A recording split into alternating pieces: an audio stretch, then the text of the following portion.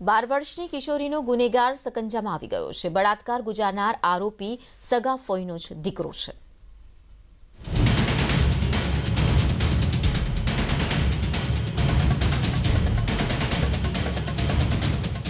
ડીસાની બાર વર્ષીય મૂકબધિર સગીરા પર દુષ્કર્મ કરી મોતને ઘાટ ઉતારનાર આરોપી ઝડપાઈ ગયો છે. આરોપી બીજો કોઈ નહીં, પણ સગીરાના ફોઈનો દીકરો જ હતો.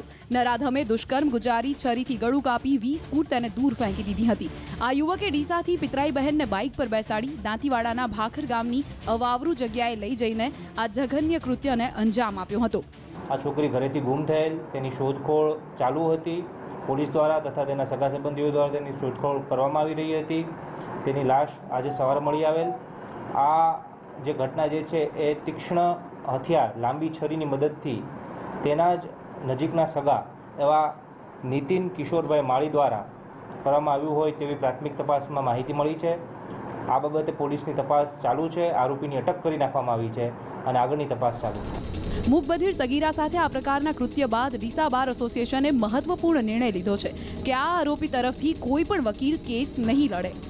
આ કામના આરોપી વતી દિશા બહાર એક ખરાબ પસાર કરવા માંગે છે કે આવા ક્રૂર હત્યા કરનાર આરોપીનો બચાવ કરવા કોઈ પણ વકીલશ્રી તેનો બચાવ કરવા હાજર થશે નહીં, તેમજ રજૂ પણ કરશે નહીં, અને આવા આરોપીને સખતમાં સખત સજા મળે એ એ વતી બાર ઠરાવ કરી અને ભવિષ્યમાં સમાજમાં આવો કોઈ બનાવ ન બને એના માટે બાર ઠરાવ રજૂ કરવા માંગે છે.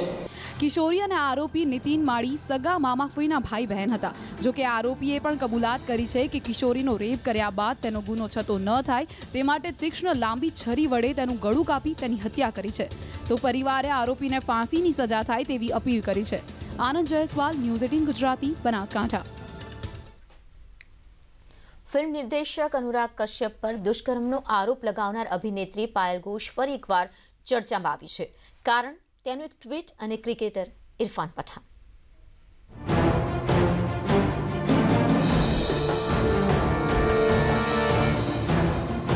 ફિલ્મ અભિનેત્રી પાયલ ઘોષે ક્રિકેટર ઇરફાન પઠાણ સાથેની પોતાની એક જૂની તસવીર ટ્વિટર પર શેર કરી છે, જેમાં પાયલે ઇરફાન પઠાણને પોતાનું મૌન તોડવા કહ્યું છે. ટ્વીટમાં પાયલે લખ્યું છે કે તે આ ફોટો એટલા માટે શેર નથી કરી રહી કે તેને ઇરફાનમાં રસ છે.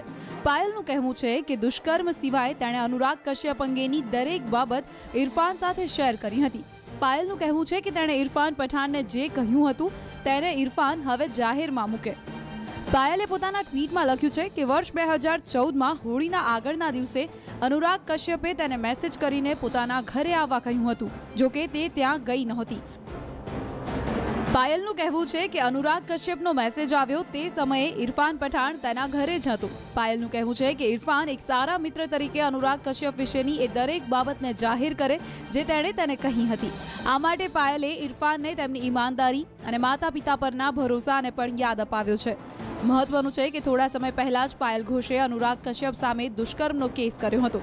પાયલનો આરોપ છે કે બે હજાર તેરમાં અનુરાગે તેની સાથે દુષ્કર્મ આચર્યું હતું. આ કેસમાં પોલીસે અનુરાગની આઠ કલાક સુધી પૂછપરછ પણ કરી હતી.